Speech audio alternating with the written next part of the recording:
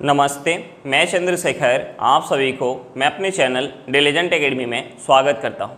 हम लोग बिहार एसएससी के लिए एक मैथ का सीरीज़ स्टार्ट किए थे, जिसमें हम लोग प्रत्येक दिन बिहार एसएससी में आए हुए मैथ का प्रीवियस क्वेश्चन और उस पर आधारित मैथ का क्वेश्चन कर रहे हैं। चलिए, आज उस सीरीज़ में हम लोग आगे की तरफ़ चलते हैं। इससे पहले अगर आप मेरे चैनल पर नए हों तो चैनल को सब्सक्राइब कर लें और बेल आइकन को प्रेस करना बिल्कुल ना भूलें, ताकि आपको सबसे पहले लेटेस्ट नोटिफिकेशन मिलता रहे। चलिए, अब हम लोग क्वेश्चन की तरफ़ चलते हैं। देखिए हमारा क्वेश्चन क्या दिया हुआ है? हमारा क्वेश्चन है, यदि किसी संख्या में इक्कीस जोड़ा जाए तो वह अपनी तिगुनी संख्या से सात कम हो जाती है। तदनुसार वह संख्या कितनी है? हमें क्या निकालना संख्या निकालना है। तो हम यहाँ संख्या को कुछ मान लेते हैं। हमने मान लिया कि जो हमारी संख्या है, वो एक्स है तो देखिए, हमें क्वेश्चन में क्या दिया है? हमें क्वेश्चन में दिया है कि संख्या में इक्कीस जोड़ा जाए। यानी हम इस एक्स में अगर इक्कीस जोड़ दें तो जो हमें संख्या प्राप्त होगी, वह अपनी तिगुनी संख्या से सात कम होगी। यानी ये किसके बराबर होगी? एक्स के तिगुनी से सात कम के बराबर होगी। अब देखिए, हम इस इक्वेशन से एक्स का वैल्यू निकाल सकते हैं। यहाँ से हमारा क्या हो जाएगा? यहाँ से हमारा हो जाएगा एक्स प्लस इक्कीस इक्वल टू तीन एक्स माइनस सात। अब देखिए, इस एक्स को अगर हम उस साइड लेके जाएँगे तो हमारा प्लस में है तो माइनस में हो जाएगा। और इस माइनस सात को अगर हम इस साइड लेके आएँगे तो माइनस में तो प्लस में हो जाएगा। यानी हम यहाँ से लिख सकते हैं इस तीन एक्स में से अगर हम एक्स माइनस करेंगे तो ये हमारा हो जाएगा दो एक्स और इस इक्कीस में अगर हम सात ऐड करेंगे तो ये हमारा क्या हो जाएगा? अट्ठाईस हो जाएगा। यहाँ से हमारा एक्स क्या निकल के आ जाएगा? यहाँ से हमारा एक्स निकल के आ जाएगा चौदह। एक्स हमने क्या मान के रखा था? संख्या, और हमसे पूछ के आ रहा था, संख्या पूछ रहा था तो संख्या क्या निकल के आ गया? चौदह निकल के आ गया। हमारा आंसर क्या निकल के आ गया? चौदह निकल के आ गया। चलिए क्वेश्चन समझ में आ गया होगा। नेक्स्ट क्वेश्चन पे चलते हैं। देखिए हमारा क्वेश्चन क्या दिया हुआ है? हमारा क्वेश्चन है दो संख्याओं का एलसीएम उनके एचसीएफ का बारह गुना है। एचसीएफ तथा एलसीएम का योग 403 है। यदि उनमें से एक संख्या तिरानवे है तो दूसरी संख्या कितनी होगी? हमें क्या निकालना है? दूसरी संख्या निकालना है। अब देखिए मैं क्वेश्चन में क्या दिया है? हमें क्वेश्चन में दिया है कि एलसीएम जो है एलसीएम जो है एचसीएफ का 12 गुना है। एलसीएम किसके बराबर है? एचसीएफ के 12 गुना के बराबर है। और हमें क्वेश्चन में दूसरा क्या दिया हुआ है? हमें क्वेश्चन में दिया हुआ है, हमें क्वेश्चन में दिया हुआ है कि एच सी और एलसीएम का योग जो है, वो किसके बराबर है? 403 के बराबर है। 403 के बराबर है। तो देखिए, हम इन दोनों इक्वेशन से एलसीएम और एचसीएफ निकाल सकते हैं। अब देखिए, हम यहाँ एलसीएम के जगह लिख सकते हैं बारह एचसीएफ, यानी यहाँ से हमारा हो जाएगा एचसीएफ प्लस बारह एचसीएफ। बारह एचसीएफ इक्वल टू क्या हो जाएगा? 403 हो जाएगा। हम इसे ऐड करेंगे तो ये हमारा क्या हो जाएगा? ये हमारा हो जाएगा तेरह एच सी एफ़ तेरह H C F equal to क्या हो जाएगा? चार सौ तीन हो जाएगा। अब देखिए, यहाँ से हमारा एच सी एफ़ क्या निकल के आ जाएगा? हम इसे अगर तेरह से काटेंगे तो ये तेरह से कितने बार में जाएगा? ये तेरह से तीन बार में जाएगा, हाथ में एक, ये हो जाएगा तेरह तेरह तेरह से एक बार में जाएगा। यानी एच सी एफ़ क्या निकल के आ गया? इकतीस निकल के आ गया। देखिए एच सी एफ़ इकतीस निकल के आ गया तो हम यहाँ से एल सी एम निकाल सकते हैं। एल सी एम क्या हो जाएगा? हम इस 403 में से अगर 31 माइनस करेंगे 403 में से हम 31 माइनस करेंगे तो हमारा एलसीएम निकल के आ जाएगा। अब देखिए, हम यहाँ से अगर 31 माइनस करेंगे तो ये हमारा क्या हो जाएगा? हम यहाँ से अगर 31 माइनस करेंगे तो देखिए, हम सबसे पहले 31 में से अगर तीन माइनस कर लेते हैं तो ये हमारा कितना हो जाएगा? अट्ठाईस। अब देखिए, हम 400 में से 28 माइनस करेंगे 400 में से 28 माइनस करेंगे तो ये हमारा क्या हो जाएगा? तीन सौ बहत्तर। यानी एलसीएम क्या निकल के आ गया? तीन सौ बहत्तर निकल के आ गया। अब देखिए, हमें एचसीएफ पता है, एलसीएम पता है, और हमें एक संख्या पता है तो हमसे दूसरी संख्या पूछ रहा है। तो देखिए, एक हमारा कंसेप्ट होता है, पहली संख्या गुने दूसरी संख्या इक्वल टू एलसीएम गुने HCF तो देखिए, पहली संख्या हमारी क्या है? पहली संख्या है तिरानवे। दूसरी संख्या पूछ रहा है इक्वल टू एलसीएम क्या है? एलसीएम है तीन सौ बहत्तर एच क्या है? एचसीएफ है इकतीस। अब देखिए, इकतीस से तिरानवे कितने बार में जाएगा? तीन बार में। हम इस तीन से अगर इसे काटेंगे तो ये तीन से कितने बार में जाएगा? ये तीन से एक बार में जाएगा। सात जो है, तीन से दो बार में, हाथ में एक बारह। बारह तीन से चार बार में जाएगा। यानी यहाँ से दूसरी संख्या क्या निकल के आ गई? 124 निकल के आ गई। दूसरी संख्या क्या निकल के आ गई? 124 निकल के आ गई। हमारा आंसर क्या निकल के आ गया? 124 निकल के आ गया। चलिए क्वेश्चन समझ में आ गया होगा। नेक्स्ट क्वेश्चन पे चलते हैं। देखिए, हमारा क्वेश्चन क्या दिया हुआ है? हमारा क्वेश्चन है किसी परीक्षा में 120 प्रत्याशियों द्वारा प्राप्त अंकों का औसत 35 है उत्तीर्ण प्रत्याशियों द्वारा प्राप्त अंकों का औसत उनतालीस है और अनुतीर्ण प्रत्याशियों द्वारा प्राप्त अंकों का औसत पंद्रह है। परीक्षा में उत्तीर्ण प्रत्याशियों की संख्या कितनी है? हमें क्या निकालना है? परीक्षा में पाँच प्रत्याशियों की संख्या निकालना है। अब देखिए, हमें क्वेश्चन में टोटल जो है परीक्षार्थी का संख्या दिया हुआ है। हमें टोटल परीक्षार्थी का संख्या कितना दिया हुआ है? 120 दिया हुआ है। और हमसे पूछ क्या रहे पाँच परीक्षार्थी का संख्या पूछ रहे हैं। तो देखिए पास और फेल परीक्षार्थी के संख्या का अगर हमें रेशियो पता चल जाए तो हमें क्वेश्चन में टोटल संख्या दिया हुआ है तो हम वहाँ से पाँच परीक्षार्थी का संख्या बता पाएँगे। अब देखिए, हम संख्या का रेशियो कैसे निकाल सकते हैं?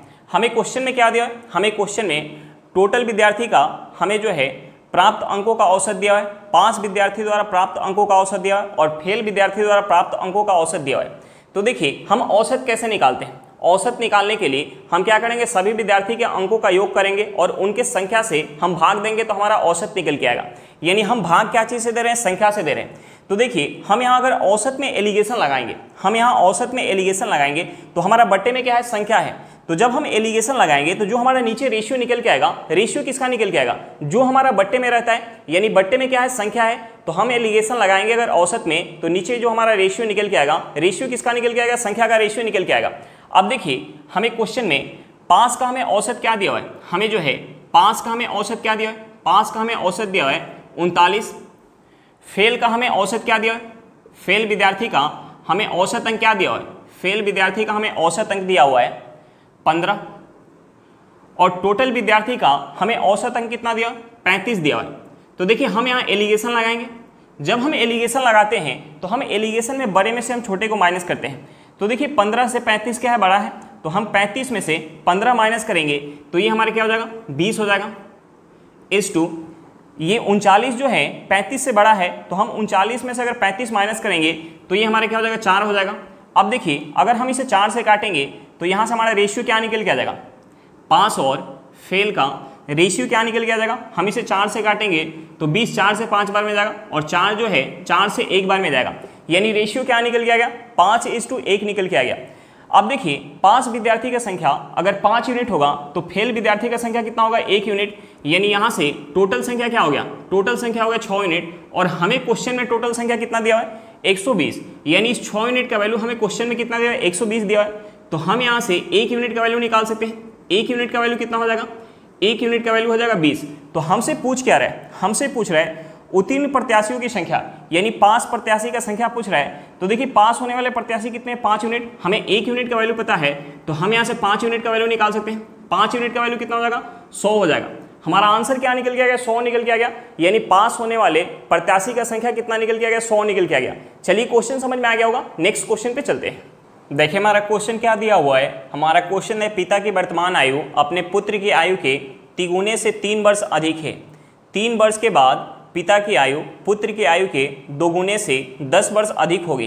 पिता की वर्तमान आयु कितनी है? हमें क्या निकालना है? पिता की वर्तमान आयु निकालना है। अब देखिए, हमें क्वेश्चन में दिया हुआ है। हमें क्वेश्चन में दिया हुआ है कि पिता की वर्तमान आयु अपने पुत्र की आयु के तिगुने से तीन वर्ष अधिक है। तो हम यहाँ पुत्र की आयु कुछ मान लेते हैं। हमने मान लिया कि पुत्र की आयु एक्स वर्ष है। हमने मान लिया कि पुत्र की आयु एक्स वर्ष है।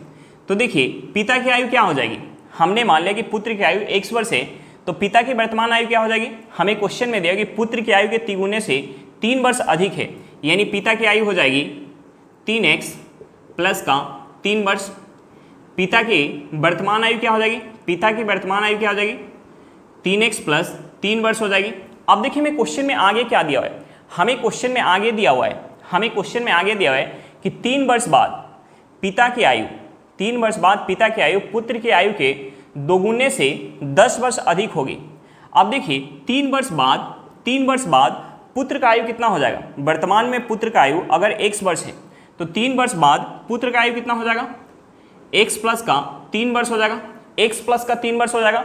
और हमें क्वेश्चन में दिया कि तीन वर्ष बाद पिता की आयु जो है, पुत्र की आयु के दोगुने से दस वर्ष अधिक है। तो देखिए, पिता की आयु कितना हो जाएगा? पुत्र की आयु के दोगुने से, यानी x two into x plus तीन से दस वर्ष जो है, ज़्यादा हो जाएगा। अब देखिए यहाँ से पिता की वर्तमान आयु निकल के आ गया और तीन वर्ष बाद का आयु निकल के आ गया। तो देखिए, अगर हम इसमें से तीन वर्ष माइनस कर दें तो ये दोनों आपस में बराबर हो जाएगा। यानी हम यहाँ से लिख सकते हैं, हम यहाँ से लिख सकते हैं तीन एक्स प्लस तीन। या हम इसमें से तीन वर्ष माइनस कर ले, या हम इसमें तीन वर्ष ऐड कर दें तो ये दोनों आपस में बराबर हो जाएगा। तो हम इसमें तीन वर्ष ऐड कर लेते हैं। हम इसमें तीन वर्ष ऐड करेंगे और देखिए, हम यहाँ गुना करेंगे तो ये हमारा हो जाएगा दो एक्स प्लस छः प्लस दस। अब देखिए, हम इस इक्वेशन से x का वैल्यू निकाल सकते हैं। ये दोनों क्या होगा, आपस में बराबर होगा? ये भी क्या है? तीन वर्ष, वर्तमान से तीन वर्ष बाद पिता की आयु है, और ये भी क्या है? वर्तमान से तीन वर्ष बाद पिता की आयु है। तो देखिए, हम इसे ऐड करेंगे तो ये हमारा हो जाएगा, अगर हम इस दो एक्स को इस साइड लेके आ जाए तो हमारा प्लस में तो माइनस में हो जाएगा। तो देखिए, तीन एक्स में से अगर हम दो एक्स माइनस करेंगे तो ये हमारा हो जाएगा एक्स अब देखिए, हम इसे ऐड करेंगे तो ये हमारा क्या हो जाएगा? प्लस का छः और इस प्लस के छः को हम उस साइड लेके जाएँगे तो प्लस में तो माइनस में हो जाएगा। अब देखिए, यहाँ हमारा क्या है? प्लस का छः और इस साइड से जाएगा तो ये हमारा हो जाएगा माइनस का छः यानी प्लस का छः और माइनस का छः आपस में कट जाएगा। यहाँ से हमारा क्या बच जाएगा? दस बच जाएगा। यानी एक्स इक्वल टू क्या निकल के आ गया? दस वर्ष निकल के आ गया। अब देखिए, पुत्र का वर्तमान आयु हमने क्या मान के रखा था? एक्स वर्ष। और एक्स का वैल्यू क्या निकल के आ गया? दस वर्ष निकल के आ गया। और हमसे पूछ क्या रहे हैं पिता की वर्तमान आयु। हमसे पूछ रहे हैं, पिता की वर्तमान आयु? तो देखिए, पिता की वर्तमान आयु क्या है? पिता की वर्तमान आयु है तीन एक्स प्लस का तीन वर्ष है। तो देखिए, हम यहाँ एक्स का वैल्यू पुट करेंगे। एक्स का वैल्यू हमारा क्या निकल गया दस। तो देखिए, हम एक्स के जगह दस पुट करेंगे तो ये हमारा हो जाएगा तीन गुने दस प्लस तीन। ये हमारा कितना हो जाएगा? ये हमारा हो जाएगा तैंतीस वर्ष। ये हमारा क्या हो जाएगा? तैंतीस वर्ष। यानी पिता की वर्तमान आयु क्या निकल के आ गया? तैंतीस वर्ष निकल के आ गया। हमारा आंसर क्या निकल के आ गया? तैंतीस वर्ष निकल के आ गया। चलिए क्वेश्चन समझ में आ गया होगा। नेक्स्ट क्वेश्चन पे चलते हैं। देखिए, हमारा क्वेश्चन क्या दिया हुआ है? हमारा क्वेश्चन यदि किसी धनराशि को ए बी सी में इस प्रकार वितरित किया जाए कि ए का भाग बी से दोगुना हो और बी का भाग सी का चार गुना हो तो उन तीनों के भागों का परस्पर अनुपात क्या होगा? हमें क्या निकालना है? तीनों के भागों का रेशियो निकालना है। तो देखिए हमें क्वेश्चन में क्या दिया हुआ है? हमें क्वेश्चन में दिया हुआ है कि धनराशि को इस प्रकार वितरित किया जा रहा है कि ए का भाग बी से दोगुना है। तो देखिए ए और बी के भाग का रेशियो क्या होगा? हमें क्वेश्चन में दिया कि ए का भाग जो है बी से दोगुना है।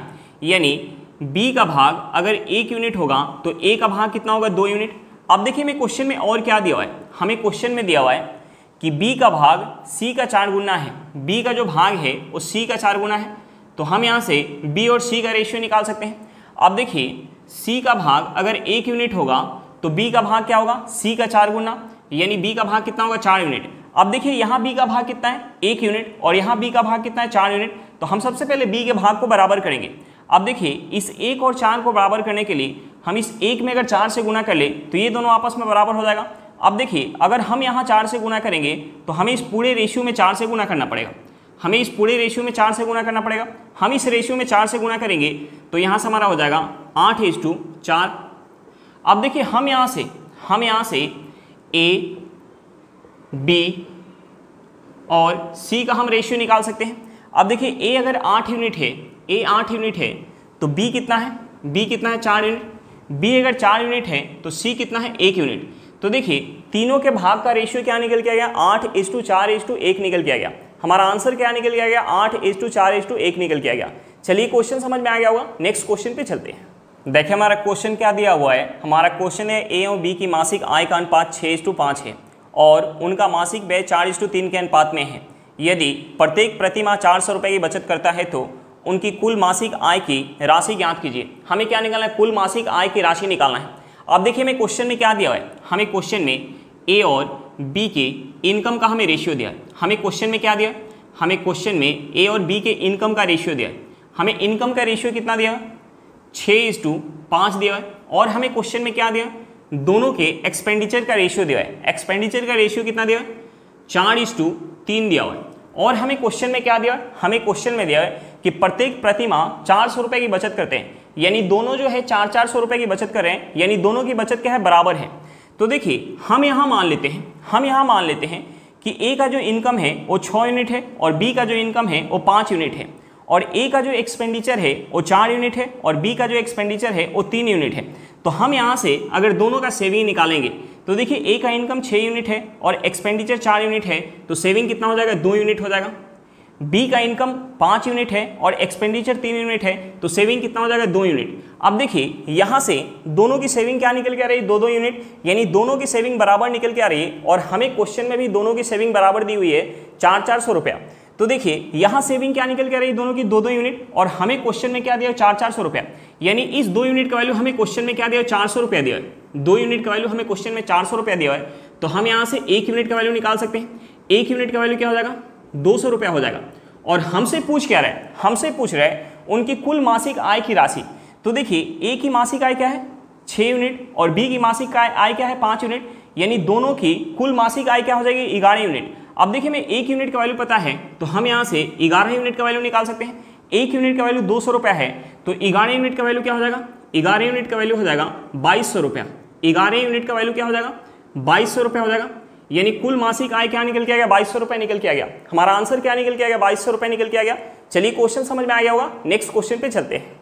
देखिए, हमारा क्वेश्चन क्या दिया हुआ है? हमारा क्वेश्चन दिया हुआ है, दिया है कि ए की आय का 10 प्रतिशत इक्वल टू बी की आय का 15 प्रतिशत इक्वल टू सी की आय का 20 प्रतिशत है। यदि इनकी आय का कुल योग सात हज़ार आठ सौ रुपया हो तो बी की आय कितनी होगी? हमें क्या निकालना है? बी की आय निकालना है। अब देखिए, हमें क्वेश्चन में क्या दिया हुआ है? हमें क्वेश्चन में दिया है कि ए की आय का दस प्रतिशत किसके बराबर है? बी की आय का बी की आय का पंद्रह प्रतिशत के बराबर और सी की आय का सी की आय का बीस प्रतिशत के बराबर है। अब देखिए, हम यहाँ से, हम यहाँ से परसेंटेज से परसेंटेज काट सकते हैं। हम इसे अगर पाँच से काटेंगे तो ये पाँच से दो बार में जाएगा। इसे पाँच से काटेंगे तो ये पाँच से तीन बार में जाएगा और इसे पाँच से काटेंगे तो ये पाँच से चार बार में जाएगा। अब देखिए, यहाँ से हमारा क्या निकल के आ जाएगा? यहाँ से हमारा निकल के आ जाएगा दो ए इक्वल टू तीन बी इक्वल टू चार सी।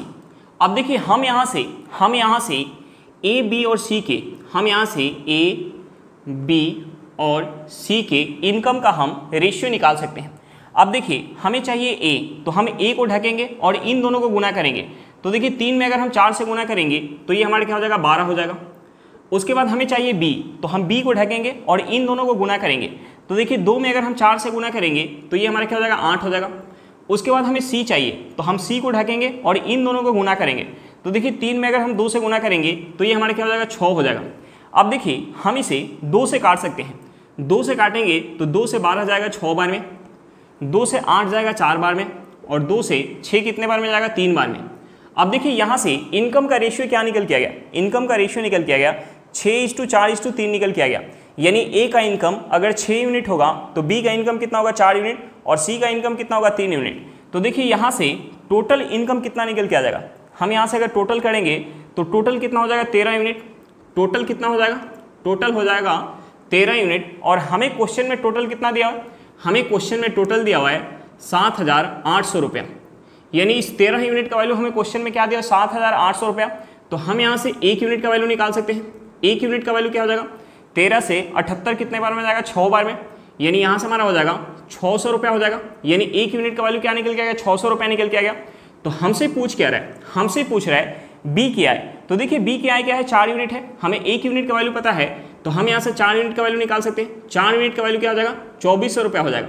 हमारा आंसर क्या निकल के आ गया? चौबीस सौ रुपये निकल के आ गया। चलिए क्वेश्चन समझ में आ गया होगा। नेक्स्ट क्वेश्चन पे चलते हैं। देखिए, हमारा क्वेश्चन क्या दिया हुआ है? हमारा क्वेश्चन है ए काम को सत्तर दिन में कर सकता है और बी ए से चालीस प्रतिशत अधिक कुशल है। वही काम करने के लिए बी को कितने दिन लगेंगे?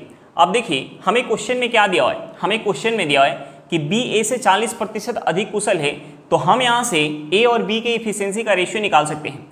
देखिए इफिशियंसी का रेशियो निकालने के लिए हम सबसे पहले क्या करेंगे? इस 40 प्रतिशत को हम फ्रैक्शन में चेंज करेंगे। तो देखिए 40 प्रतिशत को अगर हम फ्रैक्शन में चेंज करेंगे तो ये हमारा क्या हो जाएगा? ये हमारा हो जाएगा दो बटा पाँच। ये हमारा क्या हो जाएगा? दो बटा पाँच। तो हम यहाँ से, हम यहाँ से ए और बी के ए और बी के हम इफिशियंसी का रेशियो निकाल सकते हैं। हम यहाँ से ए और बी के इफिशियंसी का रेशियो निकाल सकते हैं। अब देखिए, हमें क्वेश्चन में दिया है कि बी का बी जो है ए से 40 प्रतिशत अधिक कुशल है। बी जो है ए से 40 प्रतिशत अधिक कुशल है। इसका मतलब होगा कि ए का इफिशियंसी अगर पाँच यूनिट होगा तो बी का इफिशियंसी पाँच पे दो ज़्यादा, यानी कितना होगा, सात यूनिट होगा। अब देखिए, दोनों के इफिशियंसी का हमें रेशियो पता चल गया तो हम यहाँ से दोनों के टाइम का रेशियो निकाल सकते हैं। अब देखिए टाइम का रेशियो क्या हो जाएगा? जो हमारे इफिशियंसी का रेशियो होता है, उसका अपोजिट हमारा क्या होता है? टाइम का रेशियो होता है। यानी टाइम का रेशियो क्या हो जाएगा? सात इज़ टू पाँच हो जाएगा। यानी ए उस काम को अगर सात यूनिट समय में करेगा तो बी उस काम को पाँच यूनिट समय में करेगा। अब देखिए, मैं क्वेश्चन में दिया हुआ है कि ए जो है, उस काम को सत्तर दिन में कर रहे हैं। यानी सात यूनिट का वैल्यू हमें क्वेश्चन में क्या दिया सत्तर दिन दिया हुआ है।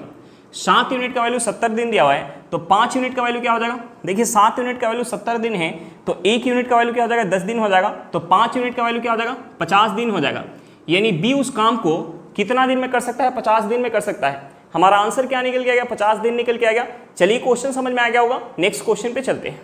देखिए, हमारा क्वेश्चन क्या दिया हुआ है? हमारा क्वेश्चन है, एक दुकानदार किसी वस्तु के दस नग आठ रुपए में खरीदता है और आठ नगों को दस रुपए में बेचता है। दुकानदार की लाभ प्रतिशत कितनी है? हमें क्या निकालना लाभ प्रतिशत निकालना है। अब देखिए, दुकानदार का हमें सीपी क्या दिया है? दुकानदार का हमें सीपी क्या दिया है? हमें सीपी दिया हुआ है कि दस नग को, दस नग को आठ रुपये में खरीदता है। आठ रुपये में खरीदता है। और हमें एसपी क्या दिया हुआ है?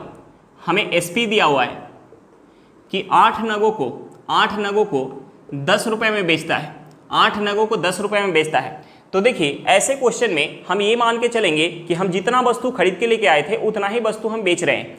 तो हम यहाँ क्या करेंगे? सबसे पहले वस्तु की संख्या को बराबर करेंगे। अब देखिए, यहाँ क्या है? दस वस्तु है और यहाँ क्या है? आठ वस्तु है। तो हम सबसे पहले इन दोनों को बराबर करेंगे। अब देखिए, इन दोनों को बराबर करने के लिए हम क्या कर सकते हैं? अगर हम 10 में चार से गुना कर लें तो ये हमारा कितना हो जाएगा? 40 हो जाएगा। और 8 में अगर हम 5 से गुना कर लें तो ये हमारा क्या हो जाएगा? 40 हो जाएगा। अब देखिए, अगर हम यहाँ चार से गुना करेंगे तो हमें यहाँ भी चार से गुना करना पड़ेगा। यानी हमें दोनों साइड चार से गुना करना पड़ेगा।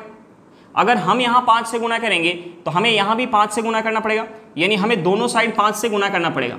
तो देखिए, यहाँ से यहाँ से सी क्या हो जाएगा? अगर हम इसमें चार से गुना करेंगे तो ये हमारा हो जाएगा, ये हमारा हो जाएगा चालीस नग कितने रुपए में?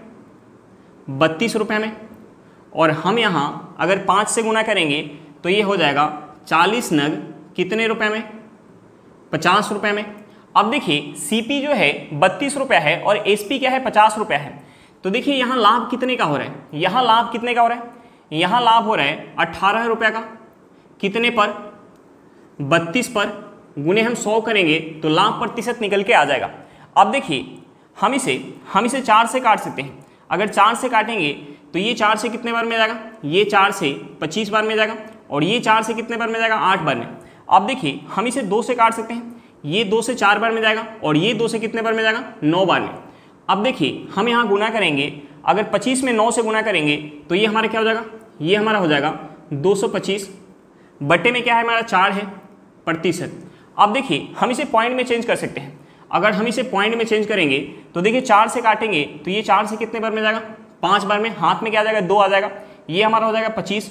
पच्चीस चार से कितने बार में जाएगा? पच्चीस चार से छः बार में जाएगा। पॉइंट लगाएँगे, हाथ में क्या आ जाएगा? एक आ जाएगा। हम वहाँ ज़ीरो लाएँगे, दस हो जाएगा। दस जो है, चार से कितने बार में जाएगा? दो बार में। हाथ में क्या आ जाएगा? दो आ जाएगा। एक और ज़ीरो लाएँगे, बीस हो जाएगा। बीस चार से कितने बार में जाएगा? पाँच बार में। यानी यहाँ से हमारा लाभ प्रतिशत क्या निकल गया? छप्पन पॉइंट दो पाँच प्रतिशत निकल के आ गया। हमारा आंसर क्या निकल गया? छप्पन पॉइंट दो पाँच प्रतिशत निकल के आ गया। चलिए क्वेश्चन समझ में आ गया होगा। नेक्स्ट क्वेश्चन पे चलते हैं। देखिए, हमारा क्वेश्चन क्या दिया हुआ है? हमारा क्वेश्चन एक व्यक्ति के पास सोलह हज़ार रुपया थे। उसने इसमें से कुछ धनराशि चार प्रतिशत और शेष पाँच प्रतिशत वार्षिक की दर से साधारण ब्याज पर उधार दी। यदि एक वर्ष में उसे कुल सात सौ रुपया ब्याज के रूप में मिले हो तो चार प्रतिशत पर उधार दी गई धनराशि कितनी थी? हमें क्या निकालना चार प्रतिशत पर उधार दी गई धनराशि निकालना है। अब देखिए, हमें क्वेश्चन में प्रिंसिपल कितना दिया हुआ है? हमें क्वेश्चन में प्रिंसिपल कितना दिया हुआ है? सोलह हज़ार रुपया।